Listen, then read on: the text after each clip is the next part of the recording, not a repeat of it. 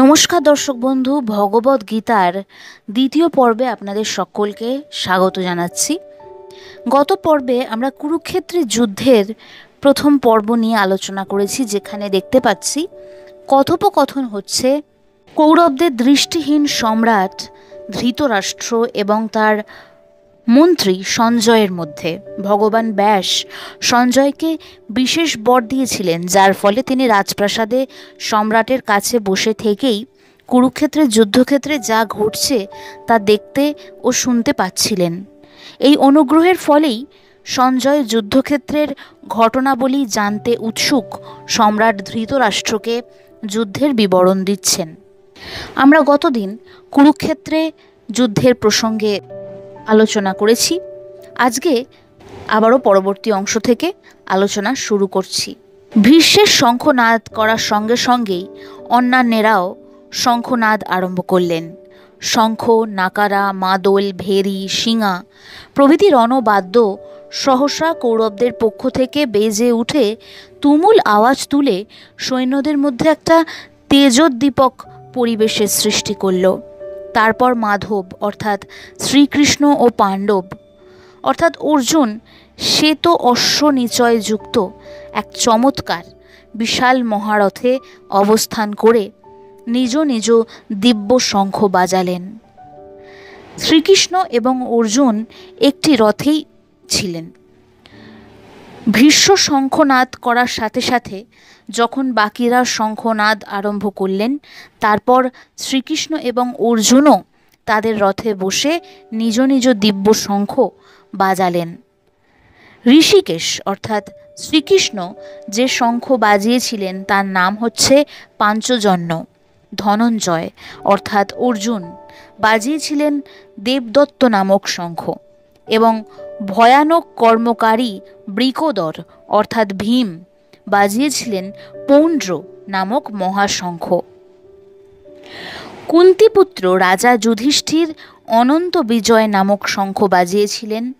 নকুল ও সহদেব বাজিয়েছিলেন তাদের সুঘোষ ও মণিপুষ্পক নামক শঙ্খদয় মহাধনুর্ধর কাশীরাজ, মহারথ শিখণ্ডী দৃষ্টদুম্ন ও বিরাট এবং অপরাজেয় সাত্যকী এনারা সকলেই যুদ্ধের জন্য প্রস্তুত হয়ে নিচ্ছিলেন। মন্ত্রী সঞ্জয় তারপর সম্রাট ধৃতরাষ্ট্রকে বলছেন, হে পৃথিবীপতি, অর্থাৎ হে ধৃতরাষ্ট্র, ধ্রুপদ দ্রৌপদীর পুত্রগণ ও মহাবীর সুভদ্রা পুত্র অর্থাৎ অভিমন্যু প্রত্যেকেই নিজ নিজ শঙ্খ বাজালেন পূর্বে উল্লিখিত মহারথী শিখণ্ডী, মহাধনুর্ধর কাশীরাজ, ধৃষ্টদুম্ন ও বিরাট অপরাজেয় সাত্তকী এনারা সকলেই নিজ নিজ শঙ্খ বাজিয়েছিলেন। ওই তুমুল নিনাদ আকাশ ও ভূমণ্ডলে প্রতিধ্বনিত হতে হতে তার তীব্র ফলপ্রদ শক্তি হেতু ধৃতরাষ্ট্রপক্ষের বীরগণের হৃদয় বিদীর্ণ করল।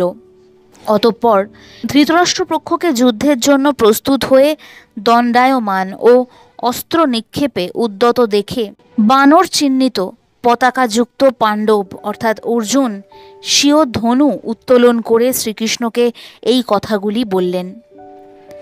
এই যুদ্ধে শ্রীকৃষ্ণ কেবল সারথী রূপেই অংশ নিয়েছিলেন। তিনি কখনো প্রত্যক্ষ যুদ্ধে নামেননি।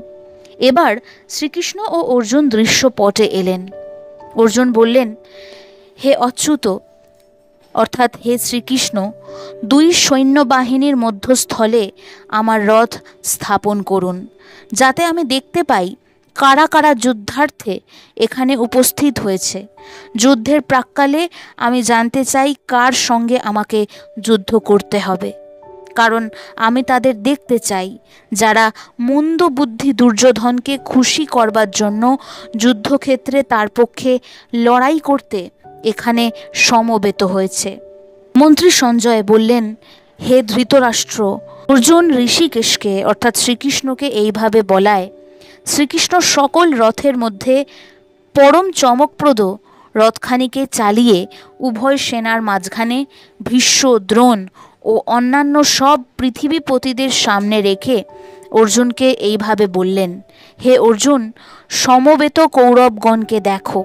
সেখানে অর্জুন তার সামনে উভয় সৈন্য দলের মধ্যে দেখলেন আপন আত্মীয় স্বজন, পিতামহগণ, শ্বশুরগণ পিতৃব্যগণ, ভ্রাতাগণ, নিজের ও তাদের পুত্রগণ ও পৌত্রগণ এবং বন্ধুগণ, আচার্যগণ, অন্যান্য সুহৃদবর্গকেও দেখলেন। সমগ্র যুদ্ধ পরিস্থিতির মধ্যে এইটাই ছিল সংকট সংকুল মুহূর্ত। কারণ এই সেই মুহূর্ত যেখানে মহামতি অর্জুন উপলব্ধি করছেন যে তাকে তার নিজের আত্মীয় স্বজনের সাথেই নিজের পিতৃব্য, ভ্রাতা তাদের পুত্রগণ, পৌত্রগণ, তাদের মধ্যে যুদ্ধের পরিস্থিতি এসে হাজির হয়েছে। তখন অর্জুন সেনা দলের মধ্যে আত্মীয় বর্গকে উপস্থিত থাকতে দেখে গভীর করুণাবিষ্ট হয়ে অর্জুন বললেন, কৃষ্ণ, যুদ্ধের জন্য সমবেত আমার এই সমস্ত স্বজন বর্গকে দেখে আমার অঙ্গসমূহ অবশ হয়ে যাচ্ছে, মুখ শুকিয়ে যাচ্ছে, সারা শরীর কম্পমান হচ্ছে, আমার রোম খাঁড়া হয়ে যাচ্ছে। আমার গান্ডিব ধনু হাত থেকে খসে পড়ছে। আমার গাত্রদাহ হচ্ছে। অর্জুন এক অত্যন্ত সংকটময় পরিস্থিতিতে পড়ে গিয়েছিলেন। তার স্নায়ুমণ্ডলী খুবই চঞ্চল হয়ে উঠেছিল। এই প্রসঙ্গে কিছু কথা আলোচনা করি। বহু যুদ্ধে, বিশেষত গৃহযুদ্ধের সময়, লোকে নিজ নিজ দেশবাসীর সাথেই যুদ্ধ করে থাকে। এরকম বিভিন্ন দেশে প্রচুর গৃহযুদ্ধ হয়েছে। কত মানুষ নিজ নিজ আত্মীয়বর্গের বিরুদ্ধে যুদ্ধ করেছে। গৃহযুদ্ধের প্রকৃতি এই। এটাই গৃহযুদ্ধে বেশি দেখতে পাওয়া যায়।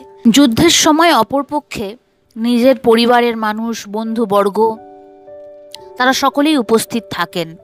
অর্জুনের আপন আচার্যগণও সেখানে উপস্থিত হয়েছিলেন। একদিকে কৌরবগণ আর একদিকে পাণ্ডবগণ। তাদের সকল সুহৃদবর্গ হাতে হাত মিলিয়েছিল। এবার অর্জুনকে এক অত্যন্ত বিষাদপূর্ণ পরিস্থিতির সামনাসামনি হতে হলো। অর্জুন সেই মহা দুঃখ প্রকাশ করেছেন। এই অধ্যায়কে অর্জুনের দুঃখ যোগ অর্জুনের বিষাদ যোগ সেই জন্যই বলা হয়। এই ছিল আজকের আলোচনা। কেমন লাগল আজকের সমগ্র আলোচনাটি অবশ্যই মন্তব্য করে আমাদের জানান। আপনাদের সাহায্য বা আপনাদের সাপোর্ট আমাদের একান্তভাবে প্রয়োজনীয়। আপনাদের পাশে থাকাই আমাদেরকে আগামী দিনে আরও এগিয়ে যেতে সাহায্য করবে। তাই অবশ্যই আমাদেরকে সাপোর্ট করতে থাকুন। ভিডিওটি পরিবার, পরিজন বন্ধু বান্ধব সকলের সাথে ভাগ করে নিন।